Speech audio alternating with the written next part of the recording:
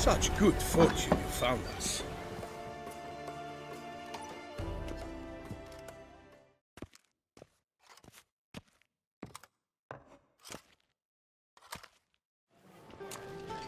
By my troth, could that be the musty scent of fresh pate? Naught else, Sir de Peyrac Peyran. I see time has not dulled your senses. We would be honored if you would join us. Uh, your companion as well. But why do I not detect even a whiff of crayfish chowder? No soup today, on account of there being no crayfish. I reckon you've not heard, but all I caught was a corpse. I awoke at the crack of dawn, as I do each day, but when I looked up, I beheld a blood-red sky. This corpse is precisely why we're here. For the man whom you've invited to join you at the table was summoned from a far-off land by her gracious magnificence. He is tasked with tracking and killing the beast. We invited two men to join us, yet since Sir de Peyrac Peyran in temperament is more akin to hare than hound, I surmise the other is the hunter. With whom do we have the pleasure?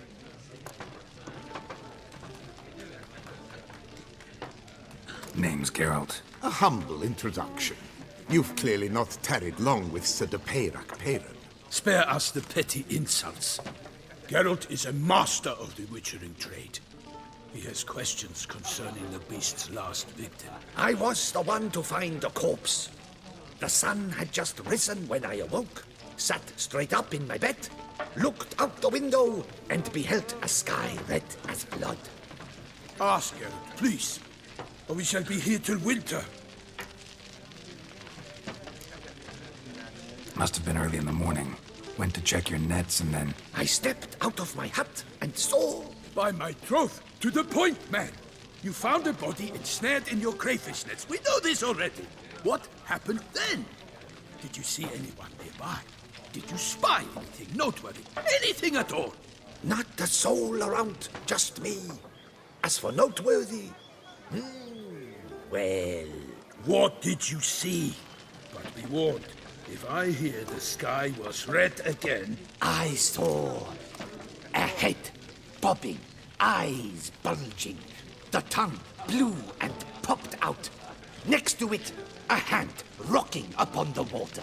Get a good look at the body parts? They gave me such a fright. I bolted to town fast as my legs would take me, then returned with guardsmen who told me to keep out of their way. They had a hard haul.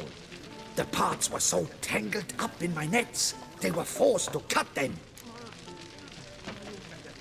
Need to examine the body. Know where they took it? They ferried it across, then loaded it on a cart and hauled it to a cellar at Corvo Bianco to keep it cool, see? What? Why, Corvo Bianco is Baron Russell's estate.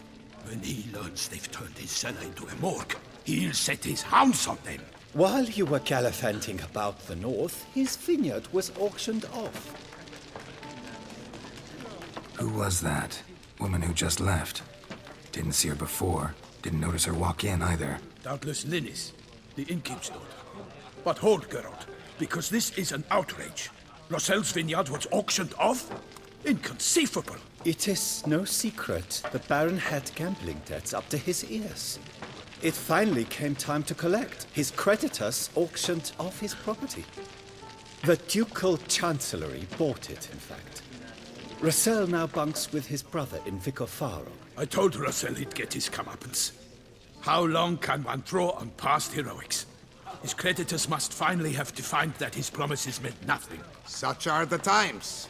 Today's knights are pale shadows of the heroes of yore. It's true what they say. God sent the beast to punish us for straying from the old paths. So folk think the beast's divine punishment. Knights have turned their backs on the old customs. Where they were defenders of the duchy, they're now defenders of their own tushes. Why, you insolent. Let him talk.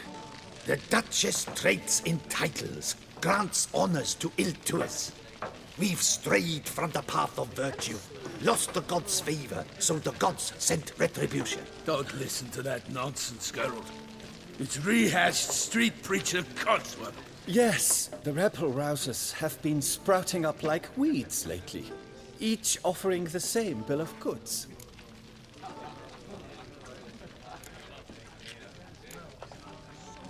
They say anything else about the beast? Besides it being a messenger of the gods? The Toussaintois are no fools. They see clearly the beast kills on days honoring patron saints. Picky monster. Thanks for the hospitality. Time I examined the corpse. Corvo Bianco lies a short way from here, near the tourney grounds. Just follow the road and you'll arrive. Not coming with? Oh yeah, duty of some sort calls. Some sort. Ha!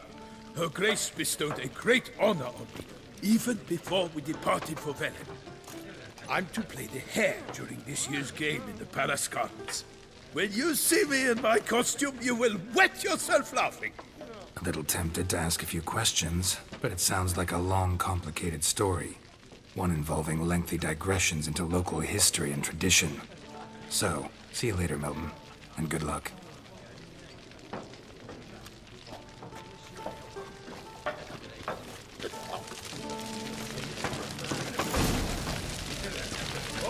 Dear fellow, with a fishhook like that, you must have to No pick touching. off the ladies.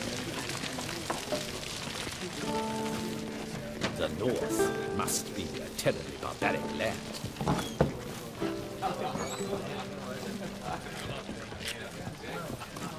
Oh, dear fellow, with a fishhook like that, you must have your pick of the ladies. Your boots could use some polish, Vagrant.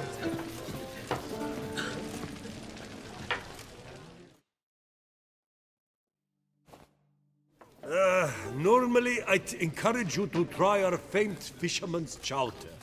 But alas, we are all out of crayfish. Could replace them with something else. Perch, for example. Replace crayfish with fish, I beg you. What next? Vinegar for wine? Parsley for a thyme, Huh?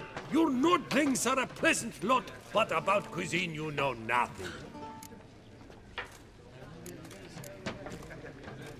Got any gossip? Fishermen talking about anything interesting? Yes, about a Nordling who would replace crayfish with pike. Asked a serious question. Hmm, and a tactless one. I do not eavesdrop on my clients, and I certainly don't repeat anything I chance to hear. Show me what you got in stock.